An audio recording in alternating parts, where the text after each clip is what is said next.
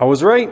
So, yesterday on the channel, I put out a video called I Was Wrong, which went into detail onto uh, some very important subjects that I just got, to be quite frank, wrong over the past year. And we went and dug in and why certain things happened that I never saw coming over the past year, right?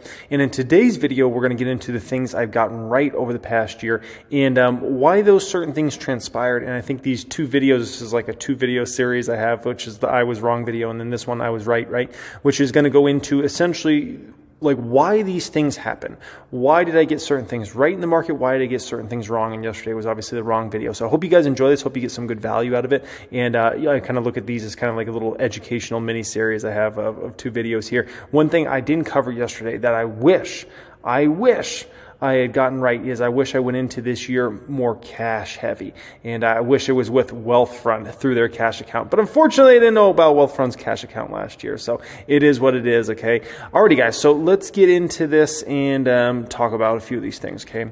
First thing up here. So, if you didn't know, we used to have the channel Millennial Money. It was uh, Kevin, Andre, Graham, and, and myself, and you know, a lot of fun on that channel, and we had some some good times completely random fun fact I forgot to mention here. You see that where it says for all business inquiries, please email Erika at erikakullberg.com. It just cracks me up because Erika, she used to help us out and uh, she ended up actually becoming the biggest finance creator literally in the world.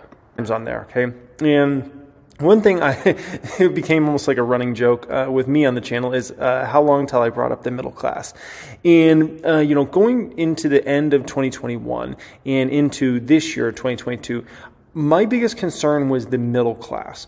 I had very big concerns about the state of the middle class and what was going to transpire in the middle class. And I was very afraid of and I use this term many times, of the middle class kind of being sliced and diced uh, because of inflation, essentially, right? Which, by the way, inflation got up to even higher numbers than I had anticipated. So I was already very concerned with what is going to happen to the middle class in 2022 and things got even worse than I thought, which n- almost no one was even talking about this or addressing this. You know, most politicians looked at this as, oh, the middle class is so strong, you know, things are going great. And uh, I was just looking at it, I'm like, I see the middle class getting sliced and diced very, very bad. And in terms of this prediction, it was 100% accurate. Look at this. This came out this past week. 66% of American workers are worse off financially than a year ago due to inflation, right? What should happen over time is American workers should be in a better place financially year after year after year. When you got, you know, 66%, the far majority of American workers doing worse, that means inflation just sliced and diced them left and right. Even this is startling. Look at this down here. Nearly one in three workers, including those earning more than $100,000, run out of money before payday. Come on, man. You got to be kidding me. Nearly one out of three making more than 100,000. I remember when I, I, back in the day, like you know, when I was working at Quick Trip, making like fifty thousand a year, I just remember thinking about the illustrious one hundred thousand dollars a year, and I was like, man, I, like if I could ever make hundred thousand dollars, that would be like the dream, right? And um, obviously, I'm, I'm, fortunate that I, I, surpassed that, right? But the fact that my dream of making hundred thousand dollars or more a year is now in a situation where one in three workers, that's not even enough money, and, and they're running out of money before payday that's crazy to think about, right? So that prediction on, I wish it was wrong. Like that's one of those predictions I wish that never came true. And I wish I was like, oh man, the middle class is doing so great. They're doing better than ever. I wish I was wrong about that. I'll just be quite clear because that's, um, you know, like, like the middle class runs the economy. That's just a bottom line. And if the middle class is not in a healthy space, it ends up hurting the entire economy. It hurts all companies' earnings. It hurts you know, it affects everything because that's the masses. Like that's who spends all the money out there. You got you got you know obviously a certain amount of people that are in poverty, but those folks aren't the big spenders out there, right? Then you got the the wealthy, you know, the, the super wealthy folks, right? The folks that make five hundred thousand plus a year, but it's a very small amount of the population. So if you're talking about who's really running the economy, it's the middle class. And so if the middle class is not in a healthy place, the American economy is not in a healthy place. Never forget that, okay? And so that was definitely a prediction. I was I was 100% spot on there, okay? Next one up here If you know me, you know I always preach to keep an emergency fund around, especially in uncertain times like we're in right now. But the question is, where do you keep that cash? I certainly know where some people keep it. They keep it right under the mattress. Oh, here's another idea. What about in the hidden compartment of your Tesla? Ooh. Oh, and we can't forget everybody's favorite. Oh, in the freezer. Oh, you know what? Thinking about it, no, those are certainly options, but uh, I don't think they're very good ones. I have come across a great one recently, and that is this segment of the video sponsor, which is Wealthfront. Wealthfront allows you to get 2.55% APY on all your cash without having to jump through hoops, meet high minimums, referrals, etc. Everyone gets this offer. If let's say you had 50K in a Wealthfront cash account at 2.55% APY, that would yield just over $1,200 per year. You gotta be flipping my flapjacks. And it's FDIC insured up to $1 million through partner banks. With Wealthfront, there's no pesky account fees like others charge you. You can create custom savings categories and track your progress on a down payment, travel fund, etc. You can easily move money around, including into your Wealthfront investment account, so you're continuing to build your wealth. Start earning interest today by going to wealthfront.com slash financial education and taking advantage of this rare opportunity. The link will also be first link in the description. It will also be pinned comment down there is crypto valuations. So obviously there was a lot of pressure on me uh, a year ago to get into crypto, right? A lot of pressure on me. You know, I heard it from just about everybody who's everybody. And, uh, yeah, man, you need to buy Bitcoin, you need to buy Ethereum, you need to buy this, that, right? And obviously over the past year, those things have done you know, pretty bad, right? Ethereum's down 67%, Bitcoin's down 69%, uh, ADA uh, is down 83%, Solana's down 86.5% over the uh, past year, and who knows, you know, where, where crypto will go from, from here, essentially, right? But when I just looked at the crypto market, you know, I, I looked at a market that it didn't make sense in regards to how do you value these things? And that was the point I always brought up, right? It's not that I'm negative on Bitcoin or Ethereum long term. I actually think there's a place, a great place for Bitcoin over the next, you know, 10, 20 years. I think if I, am actually a believer in Ethereum over the next 10, 20 years. It really comes down to how do you value these things? And the fact is that if you go back a year ago, Bitcoin was valued, I believe, over a trillion dollars. And it's like, what is, why should Bitcoin be valued over a trillion dollars, right? Ethereum was valued at some, you know, pretty insane numbers in all these different crypto projects, you know, eh, like, you know, valuations are thrown out there, oh, valued at a billion, 10 billion, 20 billion, 50 billion.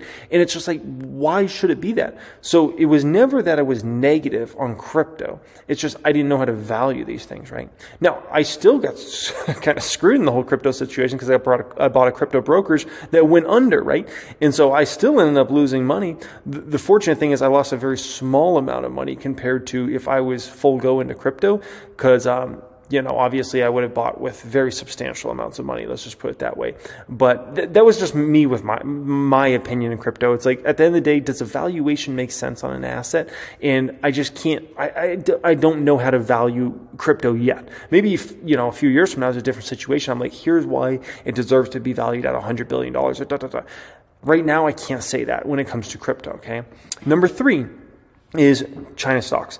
I've stayed away from those stocks, and I've been, uh, you know, a pretty strong advocate uh, to being very careful with China stocks. Right, despite valuations looking extremely compelling on, on especially on a stock like Alibaba, valuation says buy me, buy me, buy me over the past year, but at the end of the day, you can't trust these stocks. Alibaba is down 64% in the past year. NIO stock is down 77%. All the Chinese stocks are down massively. I just brought out those because those are the most popular ones that everybody talks about. Alibaba and NIO, right? And uh, both of them have just been, you know, to be quite frank, uh, obliterated. And that's despite Alibaba specifically's valuation looking extremely compelling. And that being a great business model. It really is. Like, Baba's a great business. But at the end of the day, there's big problems between the United States and China. Secondly, there's big problems in China. Third, there's big problems with investing in Chinese related stocks. And the reason there's big problems there is when you buy a Chinese stock, you're buying the hope that maybe you can own that Chinese stock. But really, you're buying uh, many times in relation to buying these Chinese stocks, you're buying a shell corporation out on some island somewhere that is supposed to represent ownership somehow in this mainland China uh, stock. But how can you trust that? How can you trust that? You can't. You can't trust that, unfortunately. And um, it sucks because some of those Chinese companies are really good companies, but you can't trust the situation because of the way the Chinese government does everything over there. So uh, say no to Chinese stocks. It's a hard decision because it looks compelling, but it's just it's it's not the way, unfortunately. And, and, the worst part with these is you don't know if they're necessarily going to zero just because they might get delisted. Who's to say China government's not just going to take over these companies? Like, you know, so many scares with that, okay? So that's the third thing up there, okay? Number four is no to large caps and big techs. And, and you know, it was it was interesting. I almost become became branded toward the end of last year and obviously the beginning of this year as a small cap guy because all the stocks I was buying were small caps, right? And the reason that happened is not because all of a sudden I wanted to become the small cap investor. It's because that's where valuations actually were extremely compelling. I mean, if you look at small caps going, you know, at the end of last year, going into this year, you were trading at valuations that were, you know, among the lowest you've had in the last several decades. And when it came to large caps, they were trading at among the highest valuations we've seen in the past decade, right? And uh, if not several decades, I mean, you have to go all the way back to the tech bubble days to find large caps trading at that. So that made me not feel comfortable about buying big tech stocks or large cap stocks a year ago. I just did not feel comfortable. And, and I saw those as being a big risk, right?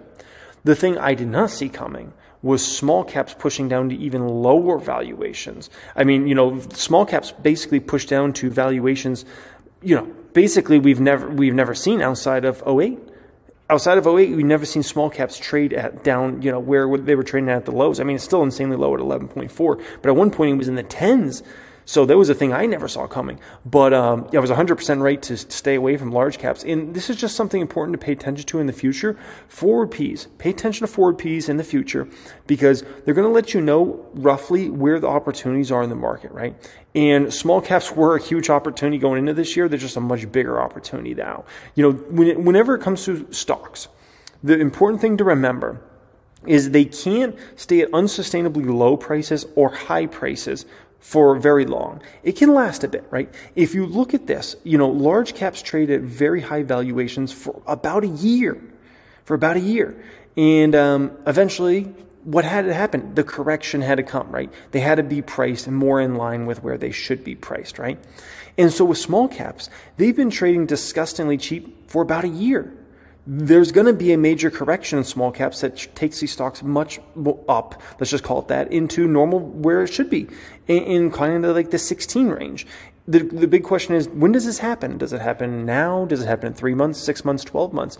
It's going to happen. I can promise you that. You don't stay trading at unsustainably low or high valuations for very long. It can last maybe a year or so, and then it ends up ending, right? That's just what we see time and time again you just look at the data, look at history, and that's the way it plays out. Okay, so that definitely played out there, and, and do you know? I think it's important to pay attention to charts like this on your Ordini. Come take a peek at these in the future because you'll know when you're setting yourself up for trouble or you need a position maybe somewhere else. Okay, and uh, you know the best position would have been just to kind of sell off everything and then obviously uh, buy back now for much cheaper. But you know hindsight's perfect, and that whole time in the market thing it sounds great once you've already gone through it. It's a much harder decision to make in that moment moment, okay? Number five, whew, tough one. Tesla Tesla. So, you know, it's been an interesting many years in regards to me and Tesla, right? 2018, 2019, I was one of the only people on YouTube who would talk about the stock. There was me and there was a guy named Galileo Hyperchange uh, was his channel, and you know talking positively about Tesla stock in 2018, 2019, and why I was buying the stock and, and all those things. Right. Obviously, the stock blew up, and then every single YouTuber jumped on that stock in 2020, 2021, right? And everybody wanted to, you know, become a Tesla YouTuber, right? And so I obviously thrived, and, and, Tesla definitely changed my financial life. It took me from being in a place where you're like, oh, he's doing really good for himself, to a place where it's like, oh man, his money's his money's different, right? And that was great. But the bottom line was Tesla what got priced to perfection. And I called this out, and I argued with a lot of folks on this. And um, a lot of folks didn't respect the angle I took in regards to Tesla. They're like, what are you becoming a Tesla bear now? You becoming TSLAQ? And it's like, no, man. It's just, at the end of the day, this is a stock I held, and I sold most of my shares. And um, you know, I still hold uh, several hundred thousand dollars in Tesla, but I did sell most of my shares of Tesla in uh, late 2020 and, and uh, into, you know, uh, 2021, especially toward the end of 2021. And the reason being is, is Tesla just got valued for perfection. And when you're dealing with a stock that's valued for perfection, you're dealing with a potential big problem there, right? And in regards to Tesla, everything was just seen as, as too perfect. You know, the, the valuation went to a trillion plus dollars. Obviously, we could talk about P metrics and forward P metrics and, price to sales metrics, and all those went off the charts, right? But the sentiment around the stock got into such a this is such a perfect scenario, right?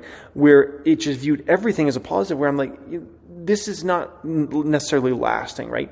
And especially if you're talking about what I believe going in this year, which is the next thing we'll talk about, recession, right? big ticket purchases end up getting hit in a recession, right? And so, although Tesla is, you know, they make tremendous products, and I'm an owner of several Teslas, and I love the company and all sorts of things, right? At the end of the day, big ticket purchases get pulled back, and a vehicle purchase is usually folks' second biggest big ticket purchase after a house, right? And so, naturally, they're gonna see some demand get hit there, right? And when you're already priced to perfection, you're, you're going to set your stock up for a massive move down, right? Now, just recently on this last conference call, and I listened to this conference call inside the private stock group and I reacted to this, Elon Musk just opened the can of worms, which is starting to see demand destruction, specifically in China and Europe.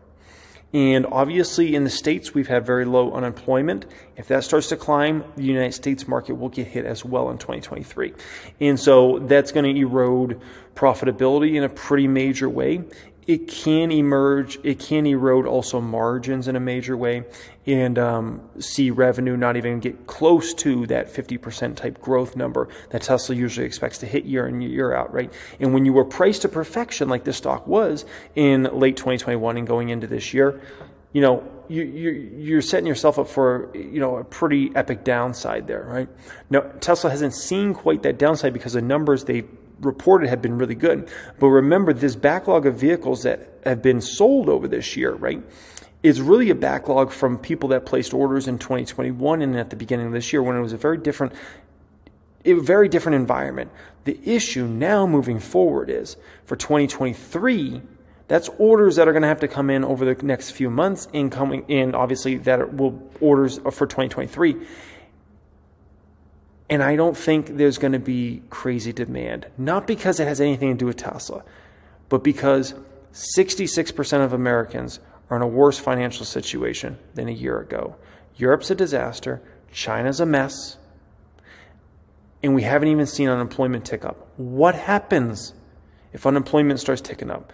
More job losses start coming, especially in the tech field which is obviously a huge industry for Tesla. So that's where you get into some issues. And so that's why when I looked at Tesla, I saw a stock that I said I could have, you could very easily have two years of the stock doesn't go anywhere. It goes up, it goes down, it goes up, it goes down, but it doesn't go anywhere. And it's definitely a realistic possibility that this is in a, in a two to three year, maybe even frame where the stock doesn't really go anything anywhere and it bounces anywhere from a $300 billion market cap to a trillion dollar market cap and back around and back up and down um, for the next year, even uh, if not two years. And so that's just what I saw there. And um, that's why I didn't, you know, continue to load up on that stock or anything like that into late 2021 and into this year.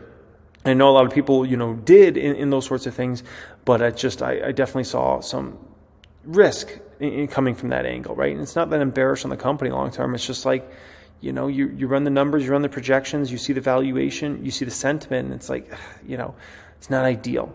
Now, with that being said, I will say this. It is possible I start buying shares of Tesla again in 2023, which would be the first time in years that it became an active buyer of Tesla stock again. And uh, it's very much a possibility. And if they start to see real demand destruction in 2023, which is a real possibility, the stock will move down a lot from here. I just do hope that everybody's prepared for that um, if that does come. It is possible that Tesla just continues to put up ridiculous growth in 23. I think it's going to be a tougher dynamic for the company, much tougher than 2022 numbers. Much tougher. It's like night and day tougher. And um, so I just think that's important. And, and I listened to Elon on that conference call, and he does not sound confident. I've listened to Elon for years. That's the most unconfident Elon Musk I've heard ever. Even less confident than I would say actually in the 2018 2019 days. So there's some food for thought. And uh, obviously, that, that prediction came true, right? And um, you know, just in a tough spot. It'll probably remain in a tough spot. It's going to have some some bounces here and there, but uh, I think that, that that stock will continue to be in a tough spot for a bit. But for long term buyers, you know, I think you could get some pretty darn interesting opportunities in 2023 for this stock, and maybe even potentially 2024. But 2023 is really uh, going to be an interesting year for all these companies that are big ticket purchases. There's going to be a lot of opportunities in those. I think about Tesla. I think about RH. I think about home builders. I think about even companies like the Rockets of the world. I think many of those stocks probably have still more downside uh, ahead in 23 and um, are going to emerge with some some very interesting buying opportunities for folks that want to go long different different let's call it big ticket purchase items um, at cheaper cheaper valuations so 2023 and even i think part of 2024 will be that sort of opportunity there okay um, sixth thing i was right about is recession. So back in january when most folks weren't actually talking about recession, I was planning for a recession, right? The only thing I didn't do is sell all my stocks, which hindsight would have been perfect. I should have sold out all my stocks. I was selling myself probably three million dollars, to be honest. Um, but that whole time in the market game, it's a it's a losing game over time. We all know that, right? But I, I did put out that video on preparing for recession and looked at all my businesses and everything I was up to, and um, started kind of planning things and getting things in motion, right? And that included a lot of hard decisions, including shutting down the Hungry Bowl app, which was you know something I definitely invested a lot of money and time in into. And uh, that was a big decision there, and just many other various things, right? And how to cut people and expenses and a lot of things that are just painful and suck to have to go through that. And I did that, and I got out in front of that before everybody, including even before the biggest companies in the world, right? And now all of a sudden you're hearing about all the big tech companies cutting way back on hiring and even starting to cut a lot of positions. Even companies like Tesla did that recently. And um, you know, I was just out in front of that before everybody else started to feel that pain. I, I kind of understood what was likely coming, right? And, um, you know, technically, the government will tell you that we're not in recession. But let's just think about this logically. Two quarters of negative GDP. In, in Economics 101, they teach you that's a recession. We had that, okay? Consumer confidence, the lowest we've ever seen in the history of consumer confidence. Hmm, smells like recession. Investor confidence, that's the lowest we've seen just about in history as well, outside of one week in the great financial crisis. Hmm, smells like recession. Everybody being extremely concerned about the future of the economy over the next year. Hmm, smells like recession. Company earnings, many of them deteriorating in a massive way. Margins getting hit in a massive way. Hmm, smells like recession. Every single thing lines up except for unemployment. That's the one thing we haven't had, right? And so that's the one thing they say, well, that's, that, see, we don't have a recession. And it's like, have you seen how many companies' revenues are trending down or aren't even growing or their earnings are down considerably? And even including great companies. Wasn't it Nike that just reported EPS was down something like 20% year over year? Nike? Nike? You know, FedEx, look at their warning. So when you add up all those things, it's like, okay, the government tells us it's not recession, but gosh, everything in the data says recession recession, recession, right? So I will take credit and I will say I was right about that, even though the government will tell me I was wrong. At the end of the day, the numbers are proof the numbers are proof. Okay.